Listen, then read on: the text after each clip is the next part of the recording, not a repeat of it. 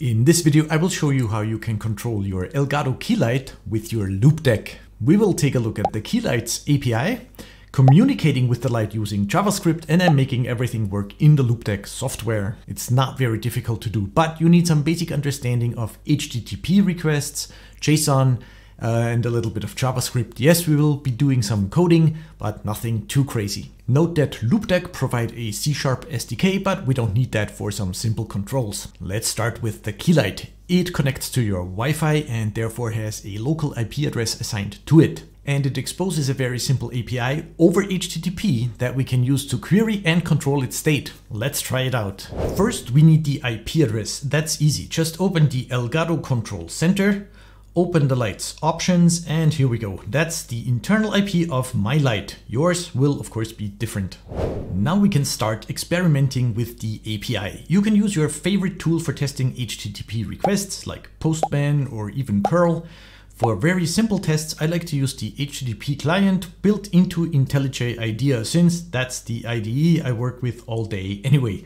Let me know in the comments which tool you prefer. The first call we will try is a GET request to this address.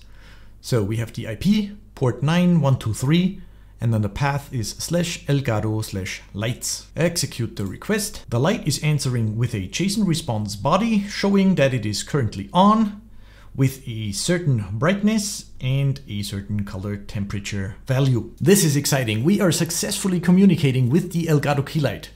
Uh, how can we control it? Let's try and switch it off first. All we have to do is send a put request to the same address with the exact same JSON that we just received and set the on property to zero send the put, and now it is very dark in here. Now let me switch it back on. So I set it to on and maybe do 25% brightness.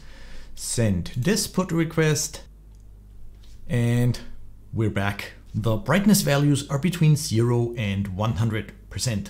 But what are the correct values for the temperature? That is easy to find out with the Elgato Control Center. All I have to do is set the temperature to the warmest setting and send the get request. And what do I get? I get a color temperature of 344. Okay, now I set it to the coldest, execute the get request again, and I get a color temperature of 143. Strange values, but good to know. I figured out what the settings are that I use for recording tutorials. I set on to 1, brightness to 55 and color temperature to 196. Send the put request and we're back to normal. Hello. Let's conduct a little survey.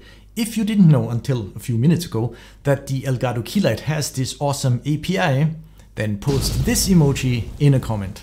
On to the next step. In order to make this work in the Loupedeck, we have to put all of this into a program that we can execute on a button push. Here I have tried using curl in a bash script executed in git bash. It works fine, however parsing or modifying JSON is a bit cumbersome in bash scripts. In JavaScript, however, it is very easy to send HTTP requests and to work with JSON.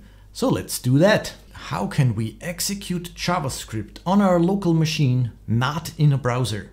Well, there are several ways to do that, but my favorite is using Deno. Deno is a JavaScript runtime. You only need the Deno executable, put it somewhere on your system and execute it to run any JavaScript or TypeScript file. It is super easy and also very, very fast. But let's write the JavaScript code first. I'm going to keep this code as short and simple as possible without any error handling. First, I'm fetching the URL and parsing the result into a const JSON. By the way, yes, this top level await works in Deno. Let's also log out what we get. I'm going to pull json.lights at index 0 out into its own constant.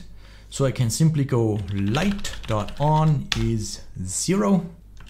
And then I will fetch the same URL, but this time I need to put a request body of type application JSON and stringify the now modified JSON object. I also log out the result of this put request. Now let's run this with Deno. Deno.exe run elgato.js. And Deno says that it cannot perform network calls, so we have to add allownet. That is one of the security features of Deno. That worked and it is now dark again. So let there be light. One, save, execute, and here we go. Notice how easy this script is and how fast Deno starts up and executes it. Pretty nice. I want to improve this a little bit though. We can apply command line arguments to our JavaScript using deno.args. It's a simple array, so if I do something like this, I can now call the script with an on or off or B100 and so on.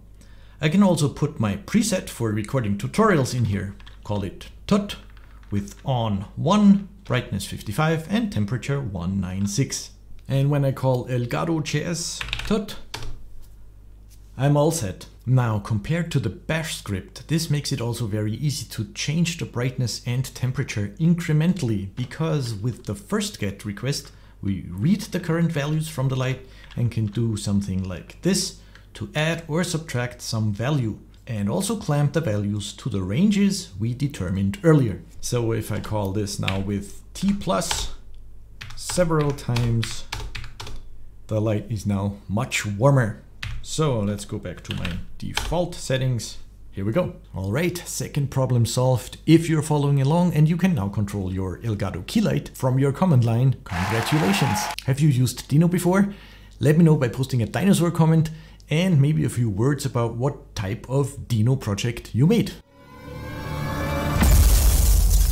By the way, my name is Chris and I make free tutorials here on YouTube. My channel is mostly about the open source software Blender, but if you would like to see more content like this, about coding, smart home, 3D printing maybe, then write a nice little note in the comment. And if you enjoyed this video so far, I would kindly ask to hit the thumbs up button right now. It really helps with the YouTube algorithm Thank you so much. Last but not least, let's call our script from Loupedeck. In the Loupedeck software, we can add a new run action, give it a name, and then enter the path to the program we want to execute right here. For some reason, even though I set it to English, most of the UI here is still in German, probably because my Windows 11 is German. However, the Loupedeck software is a bit dumb here and doesn't support command line arguments. So we cannot simply take our Deno command and paste it in here. We have to wrap it into a batch file first. If anyone from Loupedeck is watching, please improve this. Okay, let's create an elgato.bat file and put our call to Deno in there. Now we have to put the arguments we wish to send to our JavaScript in here. Off, for example. Save it, pick this batch file here in the Loupedeck software uh, let me rename this to off because that's what we're doing. Save it. Now let's try it. Push the button and the lights are off. Now this looks like we need a separate batch file for every command we want to send to the light. That is of course a possibility, but there is another way. We can have just one batch file and simply forward all command line arguments to our JavaScript with percent star. Now we can create a Windows shortcut to that batch file. Right click on the batch file, more options, create shortcut. I'm sorry that my system is in German, but I'm sure you know what you need to do. I renamed the shortcut to Keylight on.